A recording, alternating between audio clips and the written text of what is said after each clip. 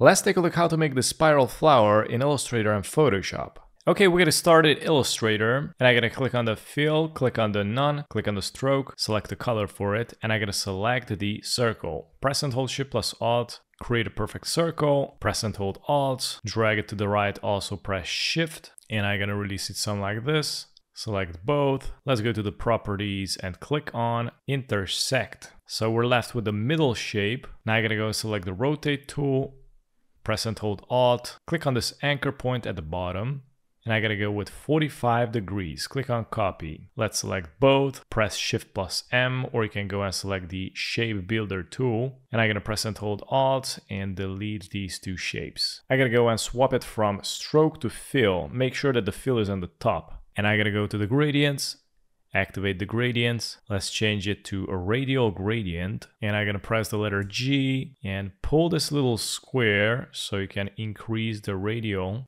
And I'm gonna put it somewhere here. And I'm also gonna push the black a little bit more up and rearrange it till it's gonna look good. I think this will do. And now let's select the rotate tool again.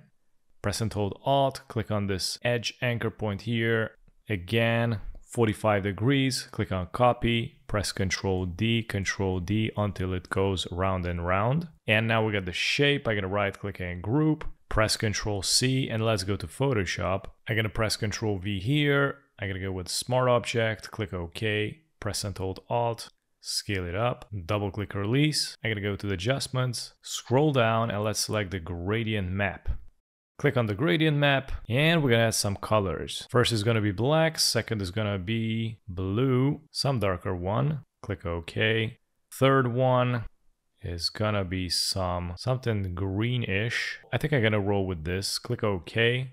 Add another one. This is gonna be a yellow.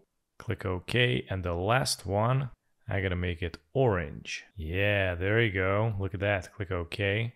From here, click OK. And let's go back and click on the flower layer here. If your layer is not Smart Object yet, you can right click and convert it to Smart Object. And from here, we're going to go to the Filter, Blur, and we're going to select the Gaussian Blur. Increase the blur, and as you can see, the more you increase, it is going to add these sharp edges, and that is going to allow it to look more realistic. Click OK. Go to the Filter, Noise, Add Noise, Make sure to uncheck the monochrome and this is going to add a little bit more sharpness. In my case, I'm gonna go with somewhere around 13. Click OK. And look at that. And this is how you make a beautiful lotus spiral in Photoshop and Illustrator. Thanks for watching.